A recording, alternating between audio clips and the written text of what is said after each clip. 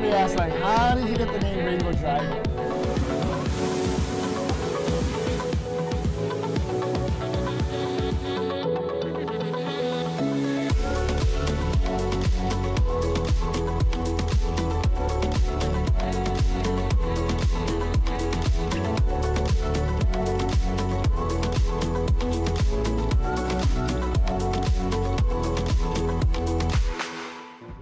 COVID shut everything down. So before our business model, you know, was doing high-end catering, wine dinners, doing uh, um, takeout. So we had like three different facets, and then eliminated the COVID eliminated two out of the three. So imagine a three-legged stool. Just, you cannot sit on a one-legged stool, right? Two of your legs are missing. It's kind of hard to sit. So it was very tough, and so we had to adjust. So instead of instead of trying to reinvent the wheel, we really focused on takeout, and our takeout started to evolve. And now we're doing, you know, we're we're doing okay. Uh, we're very grateful to be where we're at, and we're very lucky to have uh, a lot of continued support and a lot of regulars.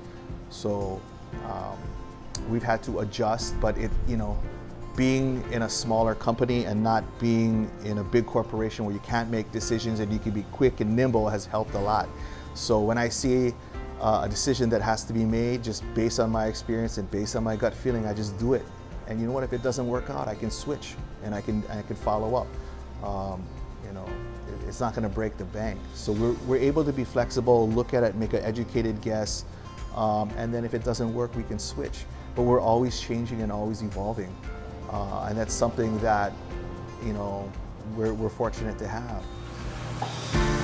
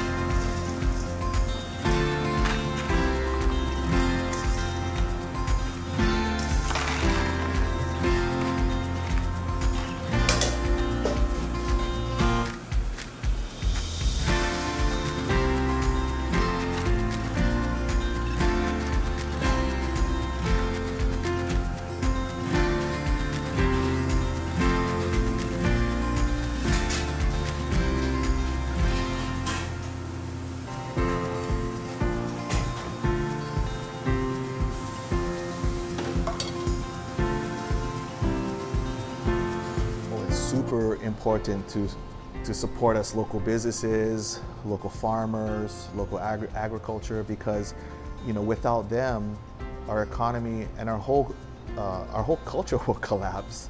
Uh, I was trying to sell local fish because no one else was buying it. You know, I was trying to support the local. I, I focused on local fish. I brought in local beef. I wanted to support all the local because you know we're a local business, and without them, we cannot survive. So we tried to help everyone that was, uh, you know, in our sort of food chain, and we chose them even though it might be a little more expensive, even though it might be uh, a little more challenging to get. We, we we did it and we promoted it. We promoted local produce bags. We promoted local fish. Uh, we continued to promote local uh, uh, beef, cattle, um, and it. We also wanted to tie that into the community because the community was so supporting us you know, at a certain point, we would see our regulars come in and, you know, hey, you know, they just stop to say hi. Hey, glad you guys are still, you know, doing okay. Um, and, you know, that really meant a lot. And so we try to give back to the community. You know, we, we cooked um, thousands of bentos for uh, the hospital, first, the first line workers. And, um, you know, there was a lot of local support uh, that funded that. And we, we appreciate any opportunity to help out the neighborhood or our community um, that supports us and then in that and give back right? So it's a very symbiotic relationship, and, and that's kind of what we're all about, you know, because we're, we're nothing without the community, and so we want to give back and support that.